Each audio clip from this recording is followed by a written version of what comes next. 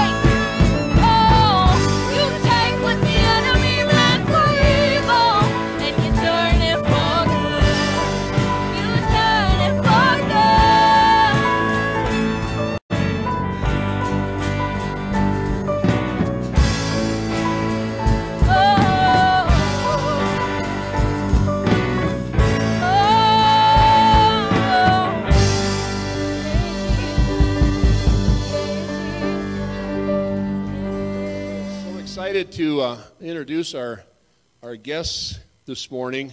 Um, this is a this is one of those God things I think that God does. How many have ever how many have ever just recognized that God is in the midst of something while you're in the midst of something that you're doing, and you you suddenly realize that hey, wait a second, maybe God is in the midst of this, and that's kind of the way it's been for me and. Uh, a couple of my friends uh, that have gone out to Sisseton, South Dakota, and, and actually helped uh, work on a, a church for Pastor Joe's dad, uh, who's a pastor in, in, in Sisseton, which is kind of a, a reservation area. Uh, and it's a cool thing they have going there in Sisseton where, there's the, where the whites and the Native Americans are kind of really figuring it out how to live together. I know they have some issues probably, but it seems like there's a really good feel there anyway, so I went out there a couple times to help, or one time to help on the house, and another time uh, to go pheasant hunting. We got to meet Joe's dad, and he loves to hunt, and so he says, "Come on out, we can pheasant hunt around here." And had some great times pheasant hunting. And then uh, one evening they had us over for dinner, and we met Joe and his wife and and kids, and uh, he shared with us some of the things that were happening among the native people in the United States and in that area. And uh, it's just one of those times where you recognize that, okay, this is not about hunting. God is in this thing, you know, and God is building a relationship in order to further his kingdom or to do something or somehow somehow we get to be connected with people that are, you know, some engaged in the harvest fields of the world. And uh, it's just so cool when God does stuff like that, I think, because you sense that God is in it. And uh, every time I try to tell somebody about you guys, Joe, I get teared up and I get this.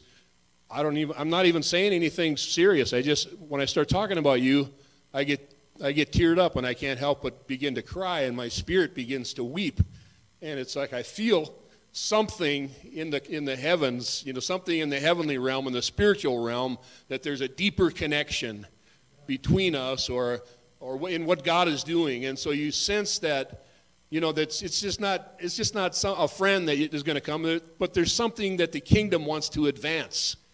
And it i have the feeling it involves you people here today. You know and i always wish more people were here or some people that aren't here or where are they at or even some of my own family you know and it's like i want them to be here because god is doing something. God is about to birth something amen? And you get to be part of it. And and I think it has to do with much deeper things than we think of on the surface. It's like, oh, good, we get to hear somebody talk about what God is doing, you know, among the native people. And no, God is doing something way bigger than we can even ask or imagine or, or you know, figure out. And so He's usually way ahead of us. And so it's our job to catch up to with what God is laying out in heaven and what His plan is to bring to earth. Because guess what? We're the ones who get to carry it out. And so I want you to really have your ears open this morning and have your hearts open and, and just be open to what the Spirit would say to you this morning through these brothers because I think He has something that He wants to impart. And it may, it may not just be today, it may be a future thing. We don't know. Amen? So let's just pray about that and just ask God to do what He wants to do this morning. Lord, we thank you that you are you're, you're, you're the ever present one. God, that you were, you were here before we got here. Lord, that you're ahead of us and you're behind us and you surround us. And so we thank you for your favor. We thank you for uh, soft, gentle ears this morning to hear what you're saying, Lord. Open ears. Lord, we thank you for open hearts to grab a hold of what the Spirit wants to say. And, and Lord, help us catch up to what you're doing and already on the move with. And we, we give you glory. We pray for an anointing to hear, and an anointing to speak for our brothers this morning. Thank you for your presence. Thank you for your love for each one here. And God, uh, I pray that our hearts would somehow be exposed to you this morning. Lord, that our hearts would be dealt with in some, some way, Lord, that would change us, would soften us, would help us to do more kingdom work and to be more in tune with the kingdom. And your work is always going on, Lord. You're always doing something, and we thank you for it. Thank you for what you're going to do here today. We give you glory. In Jesus' name. So, Joe, Pastor Joe, I'll ask you to come and you can introduce Raymond and, uh, or however you want to do it. Um, when we, my name is Joe, and I'll need you to stay up here, Pastor. when we go into a place, one of the customs of this land is that you offer a gift. It's a way of humbling yourself, it's a way of opening a door to new relationship. And usually you pray about what the gift is because it has a prophetic purpose. So everything you just said was, I believe, a picture of this. So it's the, the Washington Mall there, the Washington Monument, with the sword of God coming down through it. And it has uh, some Native American feathers. And this was uh, a gathering that happened, I think, four years ago, where there was a remnant from all the tribes in the United States who went there to intercede on behalf of the nation. And they released forgiveness for the first time publicly for a nation that's never apologized for the atrocities that it's done. And so it's a move of God. And that's the gift of what you as a body as a body are participating in. And, and so I believe it's getting back to the heart of God. What he originally intended for this land is coming to pass now. So it's awesome.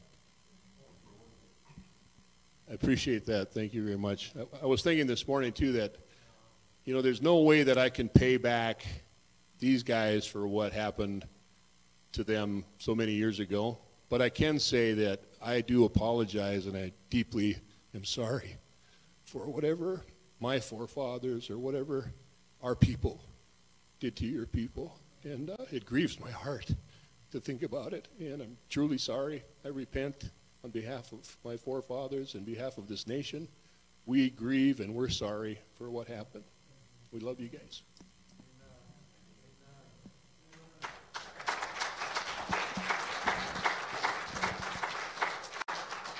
So, Father, I just respond right now. We all respond.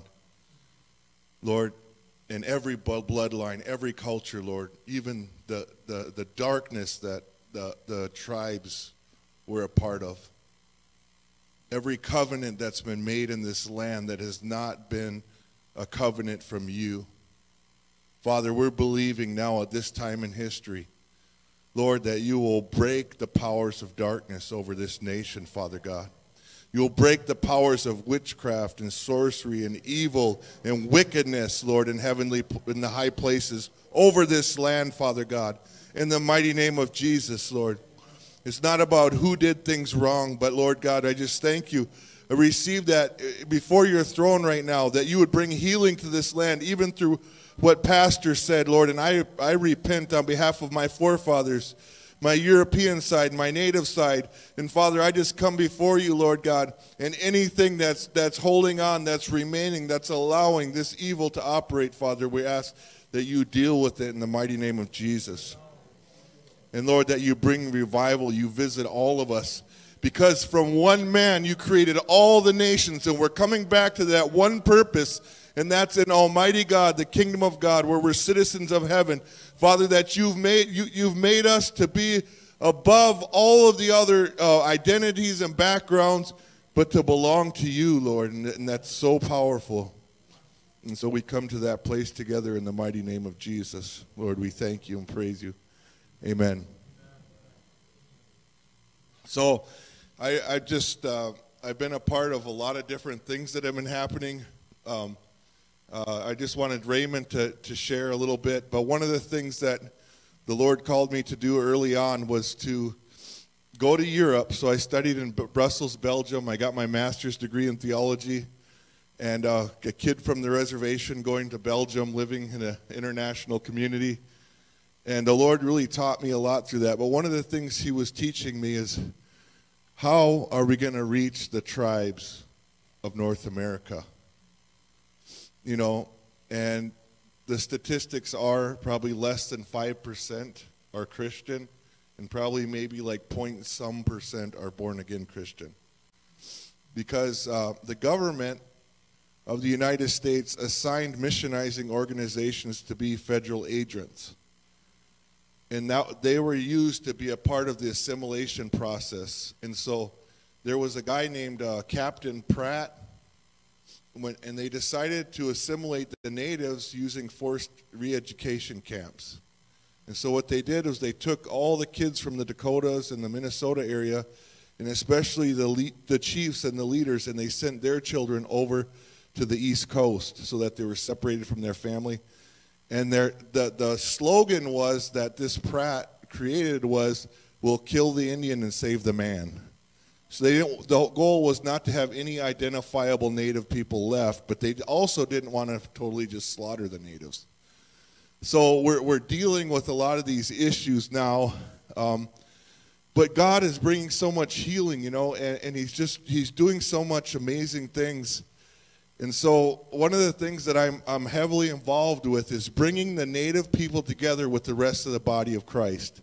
Because we are we can't be separate anymore. God that wasn't God's intention. There were many missionaries and many immigrants who had the right heart, who had the right intentions for the native people, who were moving with the plan of God. And that's happened all the way throughout. But there was there was other other parts and aspects like the federal government and stuff that seen the natives as a problem. But you know what? God is bigger than all the atrocities. That blood that he shed on Calvary is, is a blood that speaks better than the blood of murder, than any other thing.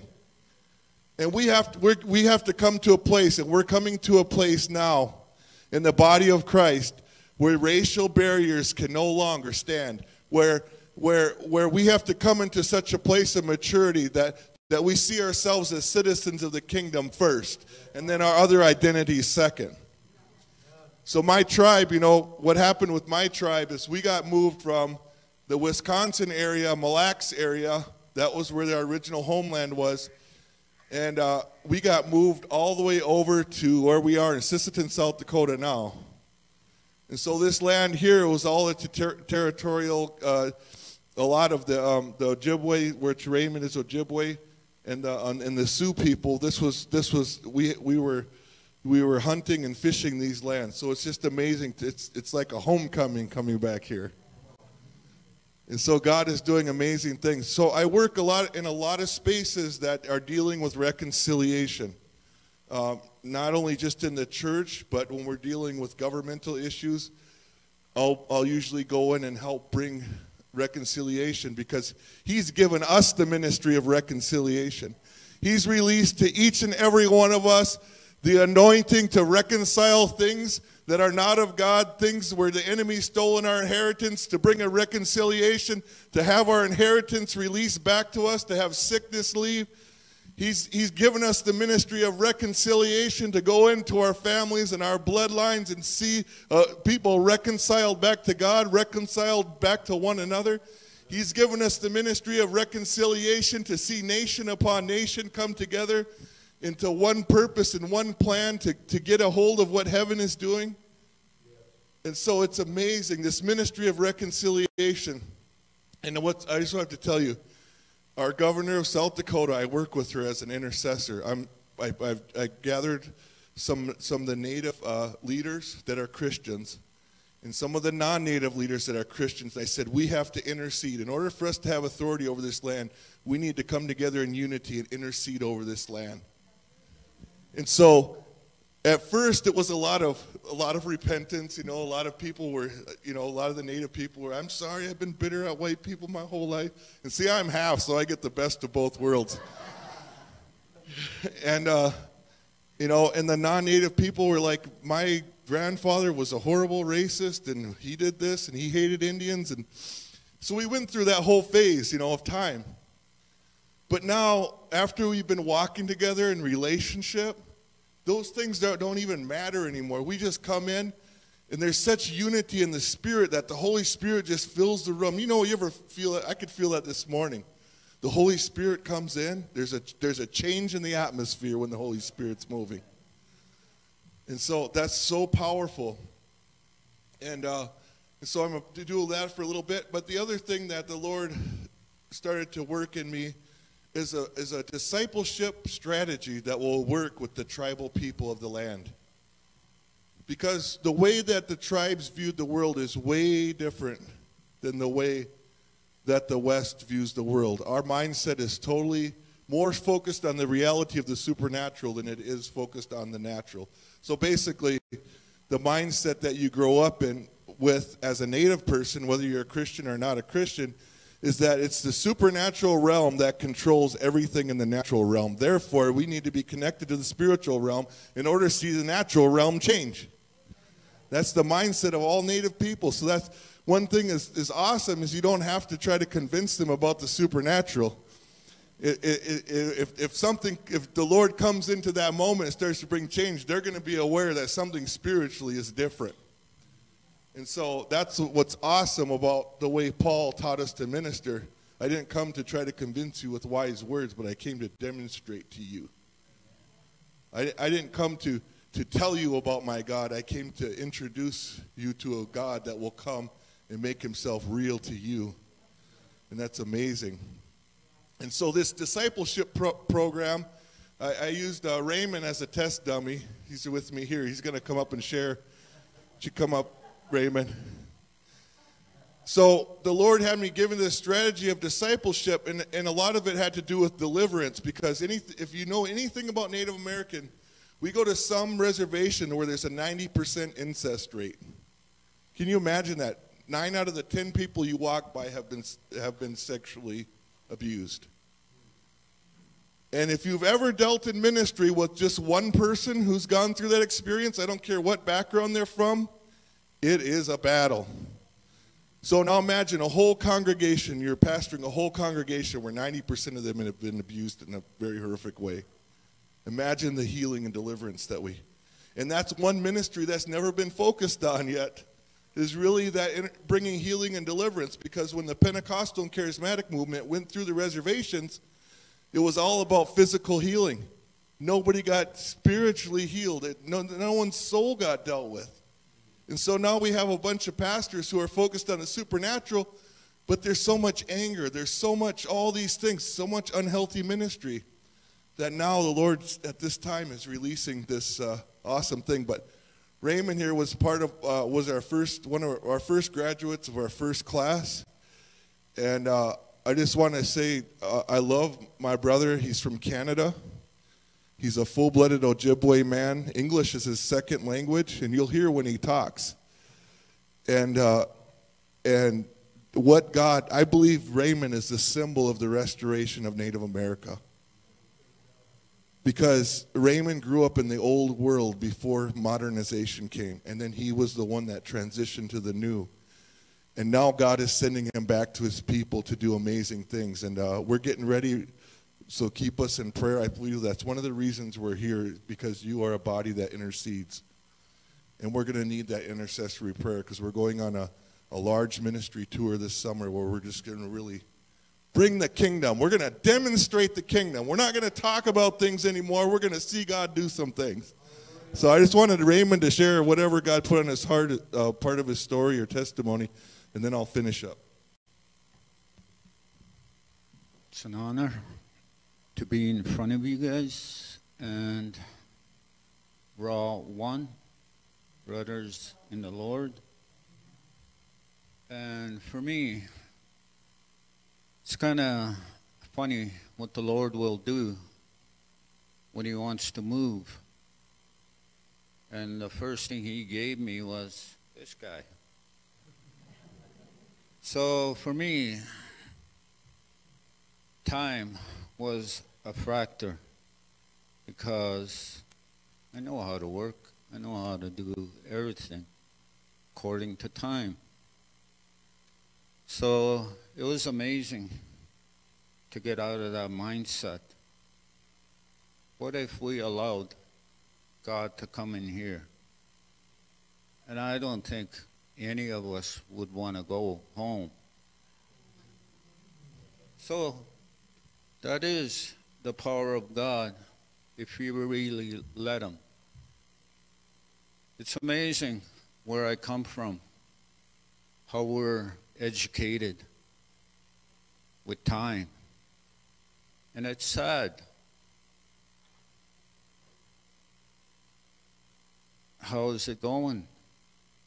And it's powerful. What if we let the Holy Spirit come in and talk to us individually?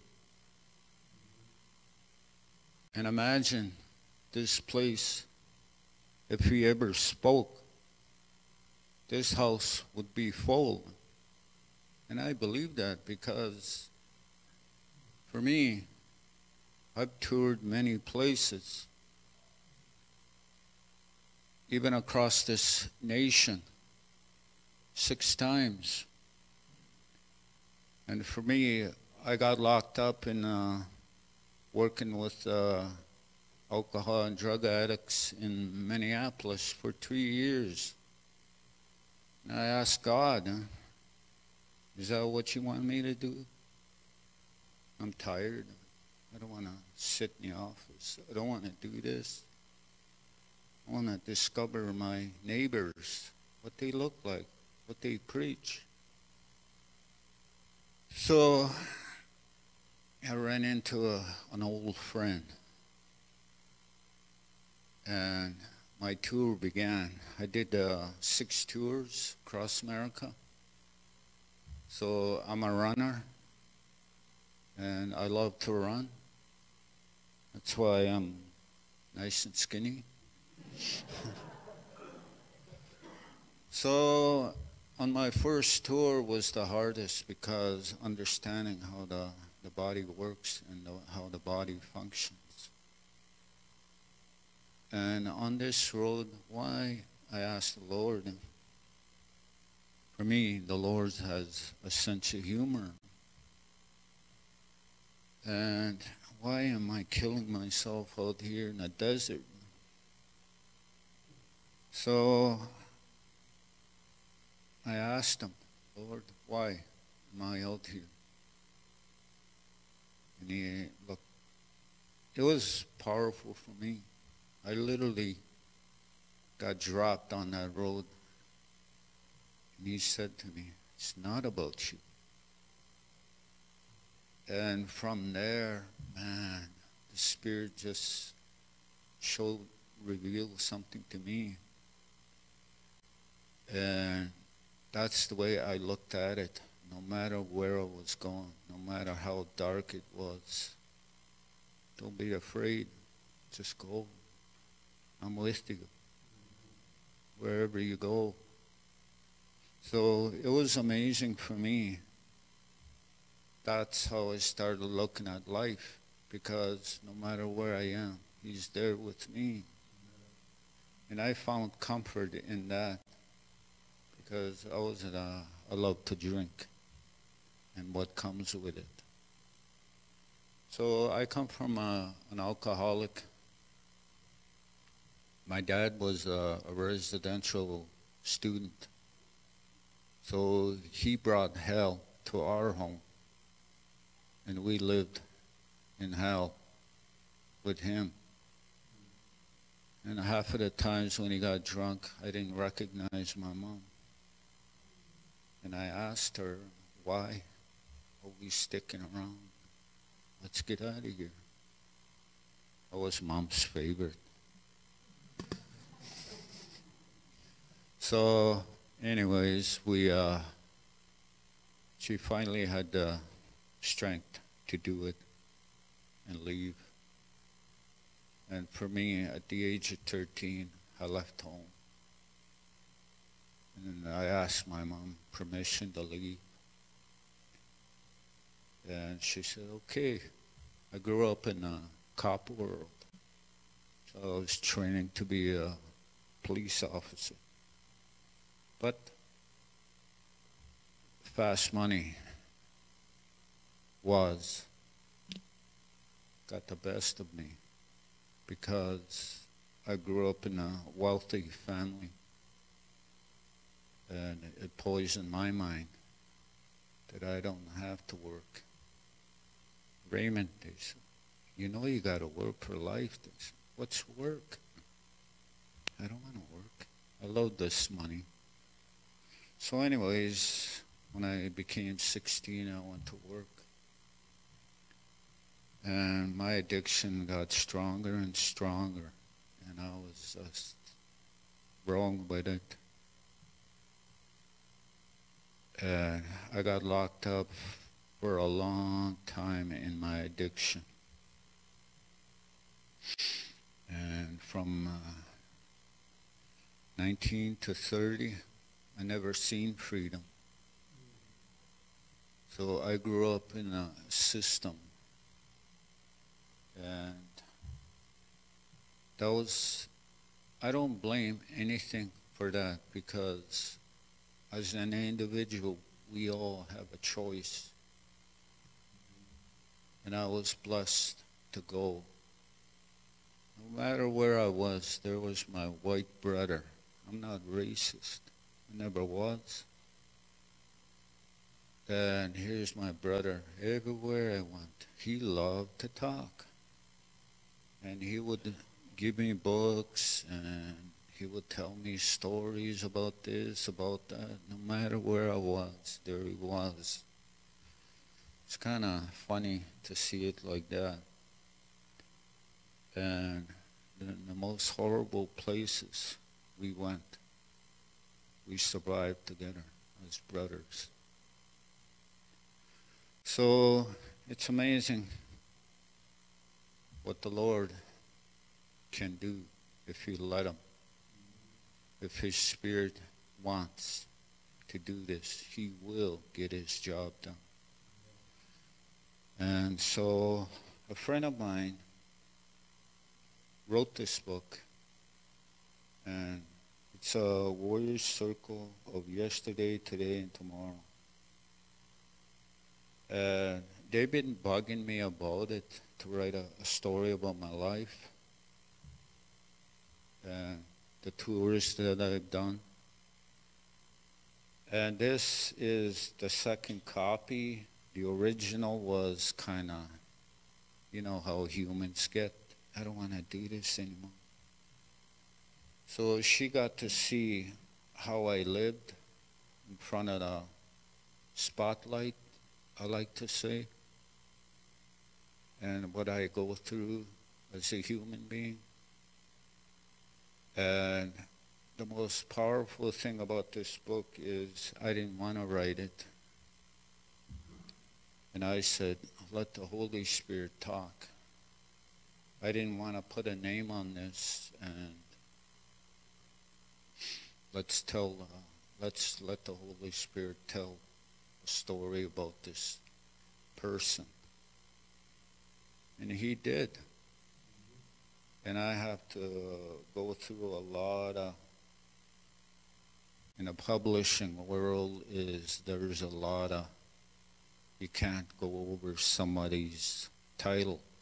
So I had to research that and the Lord gave me a,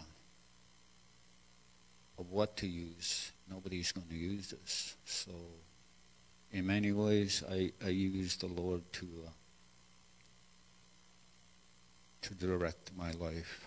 And it's not easy. What I admire about uh, the elders in our church is to see what they've gone through. Because one day I'll be there too. But to stay focused on Jesus, of what he's doing in life. And I've lost a lot of elder friends. To be with the Lord, it excites me to know where they're at because the promise he made to them. And the longer you walk with Jesus, the finer the road gets. It get, it's getting narrow and narrow. And you can see your sins before you before you even make that decision. That's what's amazing about the Lord when you let Him. And I, I'm not saying I'm a perfect person. I don't think anybody is until He returns. So, for me, I like to say a prayer for all of us in my native tongue.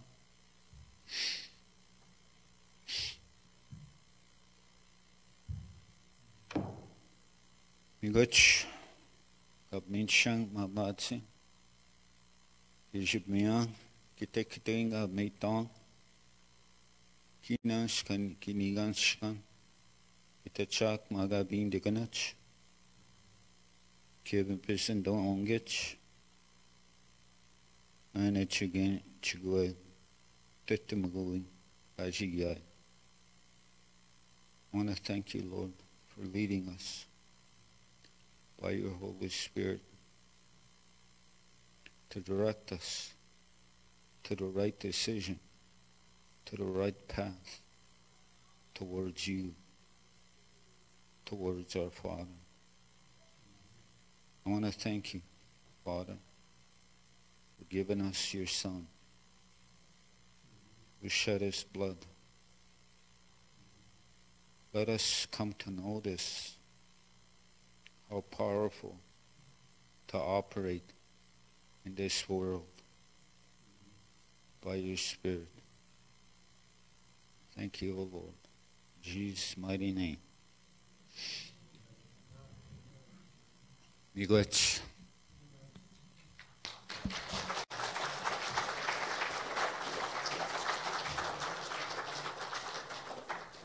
So that's uh, Raymond. Basically, they did it. They transcribed the book. So the lady who wrote it actually just recorded everything he said and wrote it down and put it into a book format. So that's the story of his life there. I think you have some copies available, and he'll probably even give you a good discount. So if you're interested in that.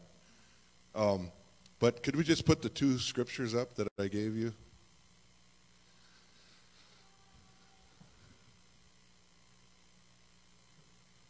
So this is a this is a passage I wanted to talk about today. God who made the world and everything in it, since he is the Lord of heaven and earth, does not dwell in temples made with hands. Um, nor is he worshipped with men's hands as though he needed anything, since he gives uh, to all life, breath, and all things. And he has made from one blood every nation of man to dwell on all the face of the earth, and he has determined their pre appointed times and the boundaries of their dwellings. Wow. Let's uh, look at the other passage as well, the Revelation. Revelation 7 9, it says, After these things I looked, and behold, a great multitude which no one could number of all nations, tribes, peoples, and tongues standing before the throne and before the Lamb, clothed with white robes, with palm branches in their hands. God, ha- God has a desire and a plan for the nations. God created the United States of America, gave the boundaries for this great nation. God created the nations that are, that are sovereign nations within this nation. Over 500, and there's 574 sovereign tribal nations in, in the United States. There's over 600 sovereign tribal nations within Canada. So in North America, we have over 1,100 sovereign nations that God called by name and preordained their times, their boundaries, and He ensured that those tribes are existing today. So this is what this is what I have both worlds in me. I, I'm I'm a little bit French, German, Irish, and I'm also Ojibwe, like what Raymond is, and um, I'm two different bands of, of the Sioux people. So the, I'm all mixed up. And uh, I grew up amongst, I grew up in both worlds. I grew up on a border town of a reservation, um, and I was a part of that culture. And then I grew up in an all native uh, community, you know, so I've had the experience of both. But what the Lord was saying to me is, is the time we're living right now in this land is a very exciting and interesting time. It may seem like it's strange, but we know that if you do a little bit of study of history, that every time the church comes under persecution, revival breaks out. People come into the kingdom. And so this this this time should provoke a warrior spirit in us of no fear and full belief in God pushing forward for what He wants to do. Now is the time to go after those who we think are impossible to be saved. Now is the time for action. Now is the time to get into faith like never before. The Lord gave me a strategy going into this pandemic. He said, if you will wake up and you will speak to that virus because it's a living organism, it's a virus. We know that most disease in the scripture was actually a demon or a spirit of infirmity. So we don't speak to it like, oh, you speak to it like it's a demon. In the name of Jesus, you have no authority over my household. You virus will not touch my children.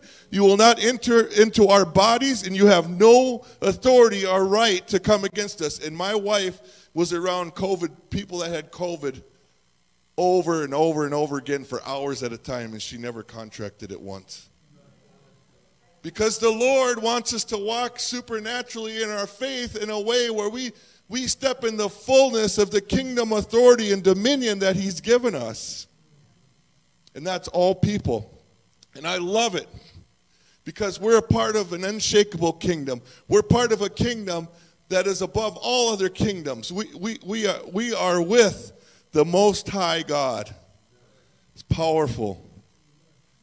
So, what I believe the Lord is doing at this time is He's bringing us to a place of unity in the body of Christ that we have not been yet. Because when we unify and become one in that way, where His the things of God are more important, we will walk in the supernatural. We will walk in such an authority. And it's amazing. I'm getting to witness that in my state because um, a lot of you have heard the governor of South Dakota the Lord gave us a word a few years back that this would be a place of freedom for the nation. And that South Dakota would lead, lead a move of God and that He would give us a leader that would stand for the truth and stand for freedom. And then, about three months before she was elected, the Lord told me to go and tell her that she would be elected as governor and God was going to use her to bring breakthrough at this time in history. So I told my friend that. My friend's like, I'm friends with her right now. I'll call her right now. She happened to be 20 miles away. She came over. Uh, we delivered the prophetic word to her, and the presence of God fell, and we all began to weep under the anointing of God. And it's powerful. And she was behind in the polls. She was behind. She didn't even look like she could she could even close to win there was a there was a very liberal-minded guy who was a, um, who was a rancher and he had been paralyzed and he had gone to all the tribes because there's a lot of tribal people that he can get votes from. And this guy was winning, and his wife was meeting with a group of 20 women, and they planned to turn South Dakota into what California is now. That was, that was their goal. And so the intercessors, the people that God uses, begin to get together and begin to awaken. You know, I believe God, the visitations of God should be normal. I don't believe the Bible that, yes, the Bible talks about what revival is, but I think we can live in a level of revival. Not to say God's going to do the same thing every time or we're going to have this or have that, but as far as his presence go, you know, and um, so I just I just wanted to share that with you that God is doing some amazing things. Um, you know, we've been a part of seeing ministry where there's been you know mass deliverance. You know, in the crowd like this, we're we're with Native youth, and uh, we're taking them through the renunciation of things of darkness, of witchcraft and evil, and all of a sudden, people will just be getting delivered of demons all in a whole in a whole room like this. You know, to see God move in that way, you know, where all the barriers are being broken down is so powerful. I just wanted to share with you a few of the elements of the discipleship process that I was talking about that have been so powerful because I believe that some of them carry over to any people group, you know, and can be beneficial. The first one was understanding praise and worship. Maybe the, the, the, the worshipers will be excited about this one. Um, but the Lord, when I was in my uh, seminary process, the Lord took me to that passage that talks about He inhabits the praises of His people. So He took me on this journey to really study what does praise mean. And there's seven Hebrew words for praise. So if we want God to inhabit our praises and to inhabit our congregation, corporately our body, if we start to enter into this, we are going to see a move of the Spirit that's amazing. Because there's a liberty and a freedom, but there's also a sacrifice when it comes to worship and praise. And we can enter into that sacrifice. It's so powerful. And I'll tell you a little bit of the testimonies this has brought to the people that we've discipled. But just let me read these real quick. Um, we have the first one is halal, to boast foolishly or to make, make a show of it. Thank you, Lord. I'm so proud of my God. He has done so much great thing. God is good in my life. And all of a sudden, the Holy Spirit begins to come down and inhabit that. To be indignant. You know, sometimes, you know, I understand we like to sit in our pew, and that's just not my style. But if we get outside of ourselves and begin to do things that the Lord we think is foolish, but that the Lord is saying, I will inhabit that if you do it. And I'm telling you, this alone, this revelation about praise is alone has enough to bring deliverance and freedom and salvation without anybody even having to do anything. But it's Him coming in our midst. That's so powerful. Let me get through these real quick.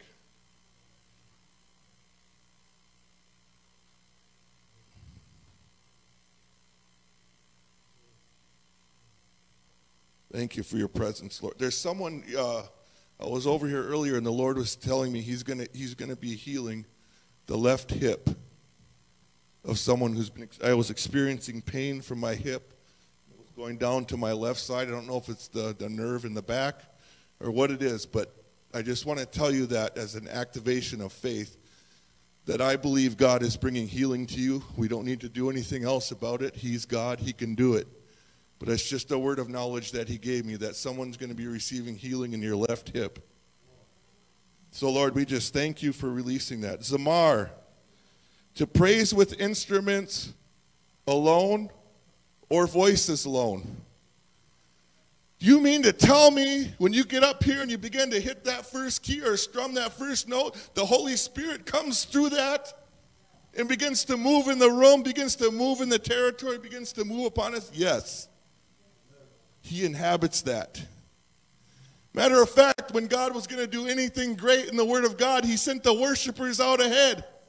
And they worshiped, and by the time they got there to fight the battle, the Lord had already, had already won it. Because He uses sound to bring breakthrough. It's amazing. It's powerful. When we step into this, we understand you know what happens when we get out outside of ourselves and we do things? Because I, I grew up in a kind of a, I grew up in kind of a religious, really kind of religious minded setting, you know, where everyone just kind of, you just be quiet. But when I began to get outside of myself and express myself through worship, it seemed like I got freer and freer. It's just something that happens that's so amazing. Hallelujah is a shouting for corporate praise. So we, we praise God with the shout.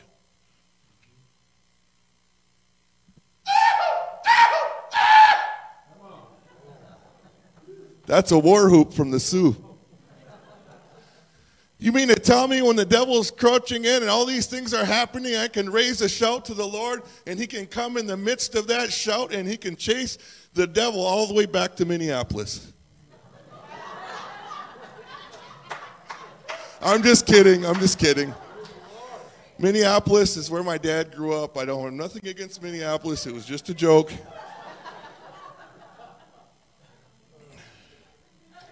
I heard a preacher say that. That's where I got that from, you know. But I think he was using Texas and Oklahoma, so just to be honest. It means to sing praise as one in harmony. So you mean to tell me that when we harmonize, when we're coming together, like, you know, when the Spirit is in something and we're harmonizing together, He's, he's coming in the midst of that. That's so powerful. And I want to tell you what this understanding, you know, there's, there's, there's, a, there's a type of praise where you bow down before the Lord and you're quiet, like someone bowing before a king. There's a time for shouting and there's a time for dancing. And these are all things that God has told his people to do so that he can inhabit when they come together corporately. We know that raising our hands, reaching out to him, raising our hands, that's another form of praise. And um, it's awesome.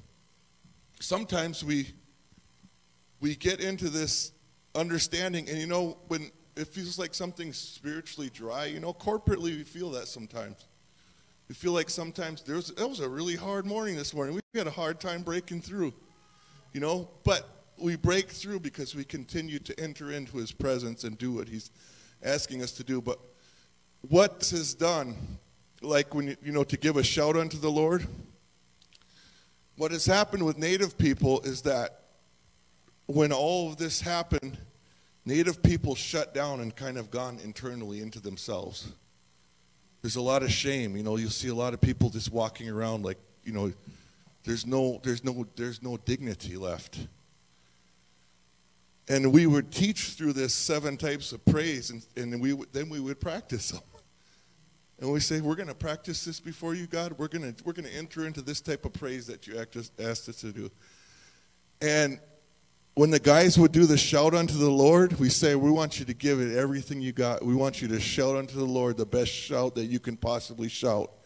You know what? They would get delivered by just doing that.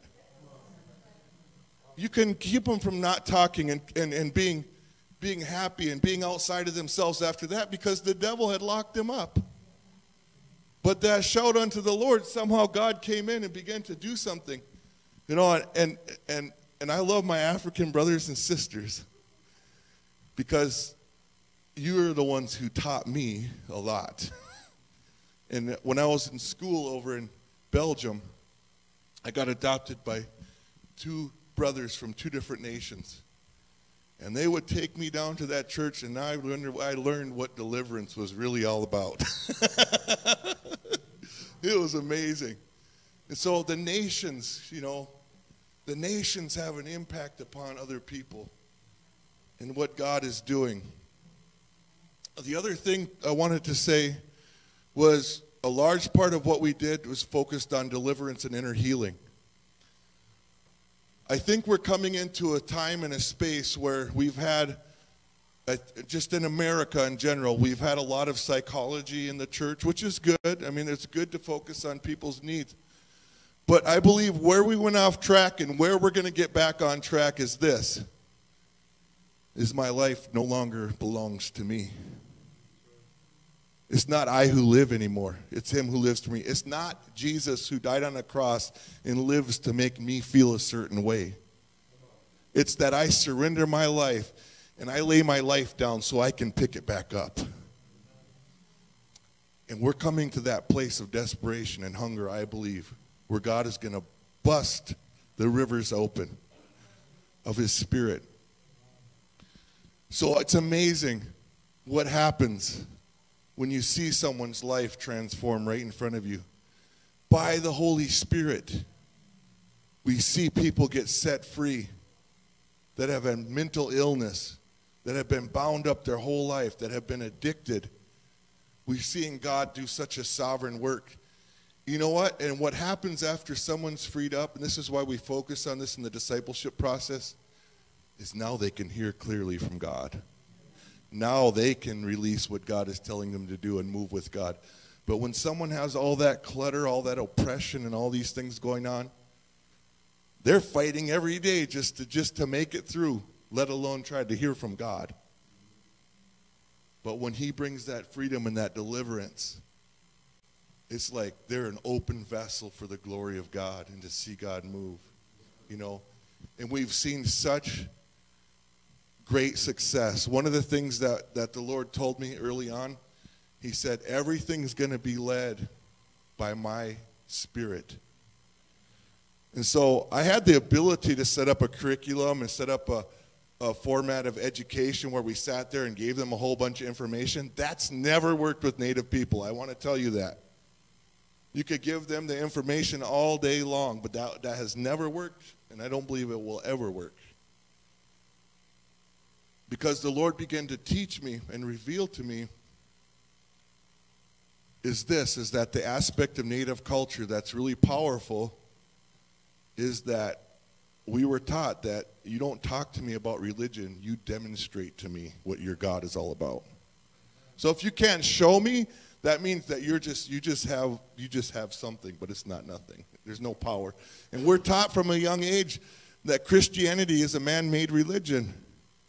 And that was made to subjugate us to the Western world, and that there's no power in it whatsoever. And they laugh about it. The medicine men, they laugh. There's no power in that. And it's crazy the way that you're indoctrinated into that and the way that these strongholds have a way to, to try to hold you, you captive. But when you encounter the Most High God, when you encounter the name that's above every name, the name that has authority over everything, man, you can't deny that. There's a difference between the spirits of witchcraft and the low level power and the garbage that they represent to where you encounter the real thing, the real spirit of the living God. There is a big difference. And you will be drawn toward the spirit of life because the spirit of death requires sacrifice, will take everything from you. So the Lord told me, we're going to have a class. We're going to have our classes every day in our discipleship program, but we're going to wait on the Spirit till the Spirit gives us the direction. And the Holy Spirit is going to be in charge. So it was amazing. The format that we did was actually we praised and worshiped and prayed through until we felt like the Spirit gave us a direction, and then we would teach from that. And God would accelerate the process of discipleship by, by so fast because he was hitting on the things that the people need, really needed, and, and the Holy Spirit was leading us in a direction. And what's crazy is guys that had come in that had only been saved for like a few days began to move in uh, oh, the gifts of the Spirit right away. There was no, there was no nothing. This, this brother would say, This is what I hear the Lord saying to you. And this brother would say this. And it was a ministry of the body like I've never seen, where they would begin to minister to one another. And it was, it's so powerful. And I believe that that's what God intended for the tribes to be connected to the one true God through Jesus Christ and to move with Him in a way that God made them to move with Him. And so it's, it's so powerful what's happening. And uh, um, we're going to be going out this, this summer and, and be going on another tour to some reservations. And uh, I just wanted to tell you, I, I got back recently from Florida, and God just poured out His Spirit amongst the Seminole people. It was so amazing. Um, what we did was just, um, I was just telling them that we are going to enter in and we're going to ask God to begin to move through all, all the people in the body. And we're going to enter in together as one people. And if the Lord speaks to you or wants you to get up and, and, and exercise the gifts of the Spirit He's put inside you, I want, well, we'll go ahead and do that. So we just went into a time of worship and praise. And every generation, from a five year old kid all the way up until the elders, prophesied for the first time in a Baptist church. And they were speaking the utterances of the Spirit. And God was just pouring out His Spirit in such a powerful way. And I just believe we're, we're living in powerful, just amazing times. So